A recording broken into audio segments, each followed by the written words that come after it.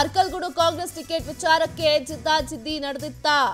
ಶ್ರೀಧರ್ಗೆ ticket ಕೊಡದಿದ್ರೆ ಸಂಸದ ಸ್ಥಾನಕ್ಕೆ ರಾಜೀನಾಮೆ ಕೊಡ್ತಾರಾ?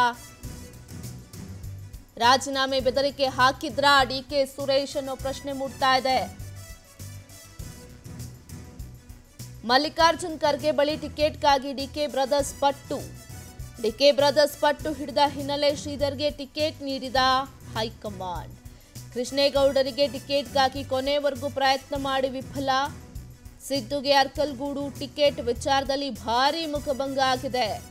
ಕೊನೆಗೂ ಶ್ರೀಧರ್ಗೆ ಟಿಕೆಟ್ ಕೊಡಿಸುವಲ್ಲಿ ಸಕ್ಸಸ್ ಆಗಿದ್ದಾರೆ ಡಿ ಕೆ ಬ್ರದರ್ಸ್. ಈಗ ಕಾಂಗ್ರೆಸ್ನಲ್ಲಿ ಹೇಗಾಗಿದೆ?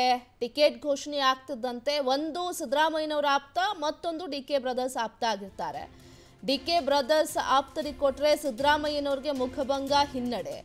ಇಲ್ಲ, ಸಿದ್ದರಾಮಯ್ಯನವರ ಆಪ್ತರೋ ಬೆಂಬಲಿಗರಿಗೋ ಕೊಟ್ರೆ ಡಿ ಕೆ ಬ್ರದರ್ಗೆ ಹಿನ್ನಡೆ. ಇನ್ನು ಅರ್ಕಲ್ಗೂಡು ವಿಧಾನಸಭಾ ಗಮನಿಸೋದಾದ್ರೆ ಅಲ್ಲಿ ಡಿ ಕೆ ಬ್ರದರ್ಸ್ ಒಂದಷ್ಟು ಸರ್ಕಸ್ ಅನ್ನ ಮಾಡಿ ಕೊನೆಗೂ ಸಕ್ಸಸ್ ಆಗ್ಬಿಟ್ಟಿದ್ದಾರೆ.